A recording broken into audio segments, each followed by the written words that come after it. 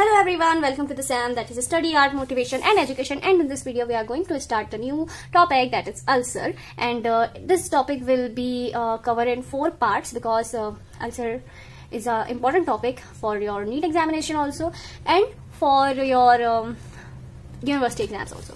So ulcer is nothing but it is a discontinuity of the skin or mucous membrane which occurs due to the microscopic death of the tissue. A standard definition of ulcer और अगर आप fracture की बात करोगे ना तो fracture में skin और म्यूकस मेम्ब्रेन की जगह पर बोन आ जाता है। That is discontinuity of the bone okay so discontinuity of the skin और mucous membrane which occurs due to microscopic death of the tissue ठीक है? This is the important definition of ulcer now हम into the classification of ulcer so basically it is classified into two things pathological classification and clinical classification firstly we are going to discuss pathological classification. So in pathological classification, it is again divided into three. Non-specific, which have seven types, specific and malignant. So in specific, specific is caused due to any type of organism. Okay?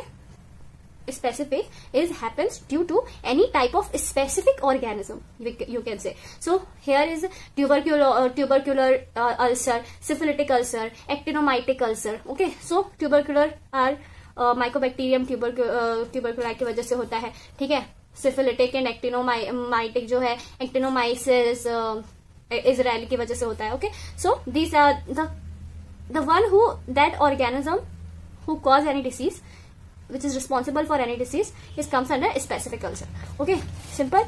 Malignant so in malignant there are mainly three types are coming that is scc that is squamous cell carcinoma bcc that is basal cell carcinoma and malignant melanoma. Okay so specific and malignant you are clear about it right? Coming to non-specific it is of seven part types so non-specific. So first is traumatic. Traumatic you can understand from the name itself that traumatic means which happens due to any trauma. Okay then it is a healing type okay आप जब भी लग जाती है, बचपन में आपको खेलते खेलते लगी होगी तो क्या होता था? थोड़े दिनों बाद अपने आप को ठीक हो जाता था। So traumatic is healing type ठीक है?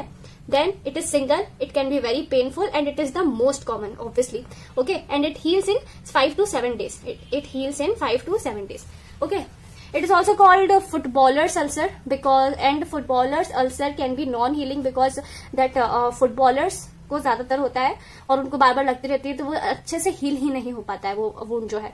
So it is it you can say it is a direct trauma okay so it because it is due to direct trauma okay ये याद रखना that traumatic is also known as footballer's ulcer then venous it is the it is also common one it it includes varicose ulcer and post thrombotic ulcer ठीक है?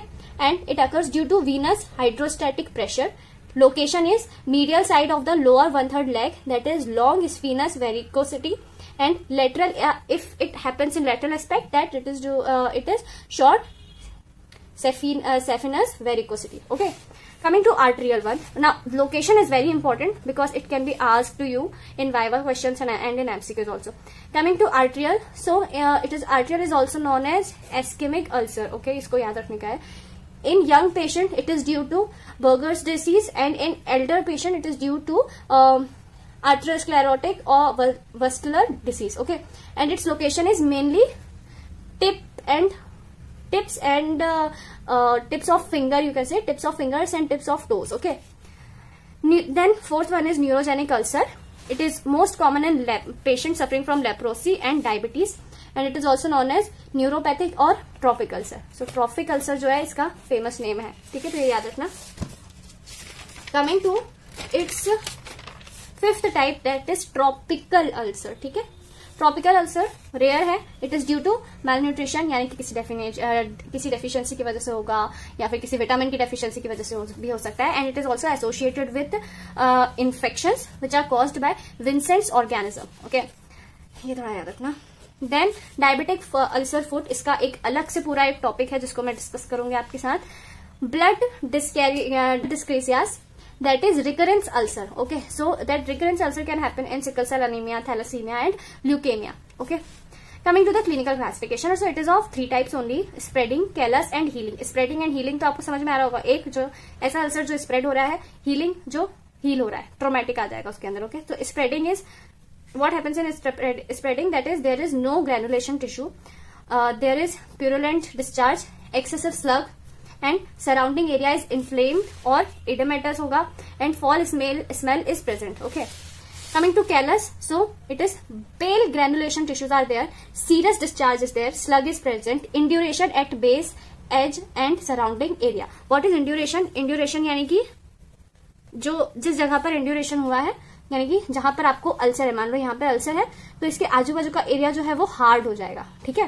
This is induration and smell can be present healing में बात करें तो red colour का दिखेगा, ठीक है? रेड ग्रेनुलेशन टिश्यू ये इससे याद रखना है कि जब भी आपको लगती है तो वो रेड नहीं पड़ जाता है, खून निकल जाता है क्योंकि so red granulation tissue minimal serous discharge बहुत कम सीरस डिस्चार्ज होता है slough is absent smell is also absent and signs of inflammation is minimal ठीक है?